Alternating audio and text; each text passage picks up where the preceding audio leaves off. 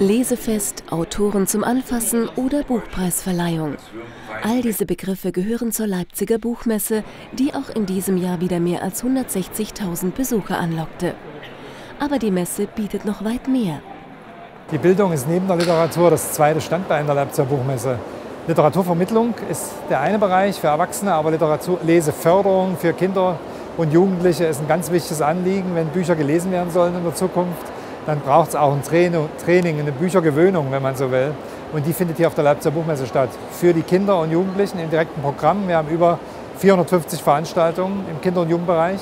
Und für die Lehrer gibt es ein großes Weiterbildungsprogramm. Lehrer aus ganz Deutschland kommen mittlerweile nach Leipzig, vor allem auch äh, zu dem Fortbildungsangebot.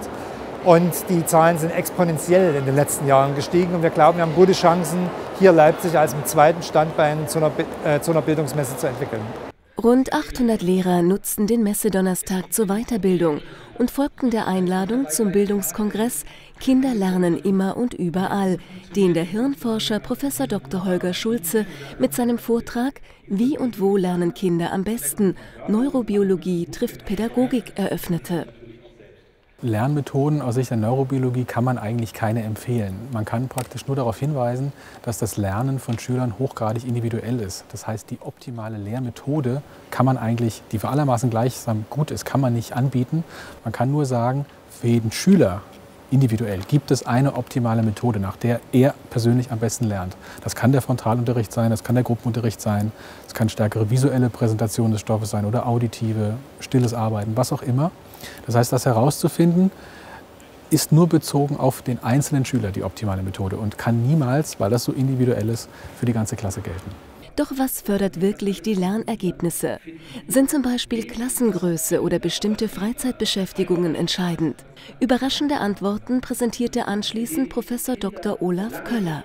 Die kleine Klasse führt dann zum Lernerfolg, wenn sie sehr klein ist, also unter 10. Aber eine Klassenstärke von 30 oder 25 macht keinen Unterschied. Faktoren, die schaden, sind nicht die, die im Volksmund gerne äh, genannt werden. Es schaden nicht generell äh, Fernsehsendungen beispielsweise, dass viele fernschauen, äh, schadet nicht unbedingt. Was wir wissen, was schadet, ist Sitzenbleiben. Sitzenbleiben hat Kosten äh, für die Schülerinnen und Schüler. Was wir weiterhin auch wissen, ist, äh, dass natürlich hohe Mobilität, der Eltern dann mit vielen Schulwechseln äh, verbunden auch negative Effekte auf Lernerfolge hat. Je höher die Qualifizierung der Lehrer, desto besser der Unterricht der Lehrerinnen und Lehrer und desto höher auch die Lernerfolge der Schülerinnen und Schüler. Das heißt, letztendlich äh, Lehrerausbildung, Lehrerfortbildung zu optimieren, bedeutet letztendlich auch, dass Schülerinnen und Schüler erfolgreicher lernen. Weitere ganz konkrete Anregungen will der erstmals vorgestellte Leipziger Lesekompass geben. Er präsentiert 30 ausgewählte Bücher, die für die Förderung der Lesekompetenz in Schulen und Kindertagesstätten geeignet sind.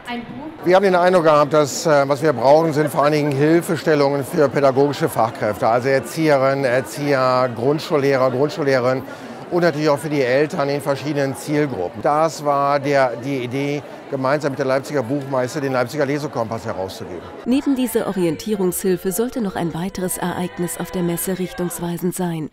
Die Preisverleihung Schulbuch des Jahres. Auch dies eine Premiere in Leipzig.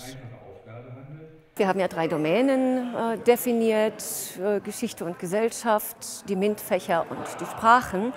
Äh, und was alle herausragenden Schulbücher auszeichnet, ist, äh, dass sie eine gute altersgemäße Sprache finden. Das Zweite ist, äh, dass die hier ausgezeichneten Schulbücher sich sehr stark auf Alltagserfahrungen, Lebenswelt der Schüler beziehen, dass sie faktisch aus der Lebenswelt heraus die äh, Fachfragen entwickeln und nicht umgekehrt. Die typischen Businessbesucher mit schwarzem Anzug und Aktentasche sucht man in Leipzig vergeblich.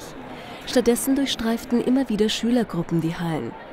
Sie erkundeten gemeinsam mit ihren Lehrern die Messe oder nahmen an der Bücherrallye teil, die bereits zum sechsten Mal stattfand. Eine ebenso lange Tradition hat auch das Kita-Symposium, das diesmal unter dem Motto Vom Kind aus Denken stand. An Erzieherinnen und Erzieher und auch an die Kinder werden enorme Anforderungen gestellt, nicht zuletzt aufgrund der neuen Erkenntnisse der Neurobiologie. Und äh, manchmal hat es den Anschein, als vergisst man aber diese wesentliche Persönlichkeit, die dahinter steht, nämlich das Kind. Und wir wollten wieder zurückkommen und sagen, da fängt alles an. Wenn man das Kind in den Mittelpunkt stellt, und das muss man, von da aus gehen alle Stränge nach außen. Mehr als 400 Erzieherinnen waren zu diesem Symposium des Didakterverbands der Stadt und der Messe Leipzig gekommen.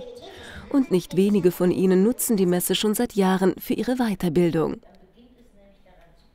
Ich fahre jetzt schon das vierte Jahr mit meiner Kollegin zusammen hierher weil uns das äh, sehr anregt, immer wieder neue Bildungsprozesse kennenzulernen und uns hier weiterzubilden. Wir haben hier qualifizierte Ansprechpartner, wo wir wirklich neues Input für unsere Arbeit bekommen.